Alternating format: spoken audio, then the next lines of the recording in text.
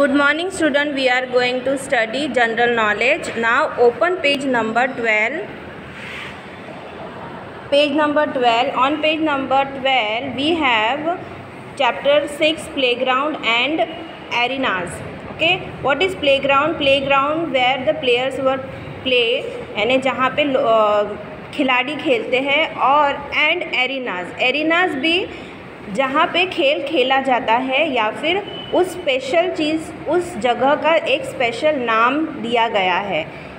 Each games is played on its specific ground and each ground has its specific name here names of some known games are given below the pictures of ground write the correct name of the ground in the blank given there. Choose the name of the ground from the box given below you have to choose the names from this box यहाँ पे pictures दिए हैं games के and name भी दिया है तो उनका जो प्ले ग्राउंड है या एरिना है वो आपको यहाँ लिखना है तो first is baseball pitch next second volleyball court third hockey is played in field देखो, ये फ़ील्ड में खेल रहे हैं।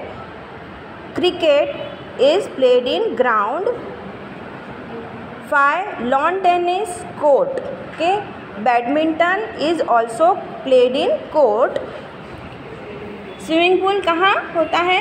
स्विमिंग कहाँ होती है? पूल में. के पूल में. This is called pool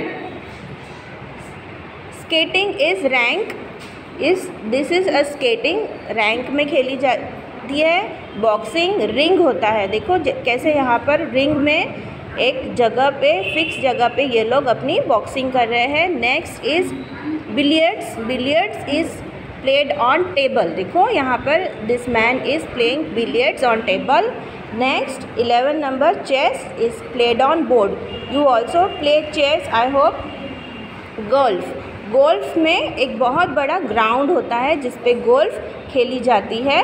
Next is wrestling wrestling is played on mat but this picture is on the mud मट्टी में भी खेली जाती है और मैट पे भी international wrestling is played on mat and table tennis is played on table these are also you have to write in your textbook on page number 12 and 13 this is your homework for today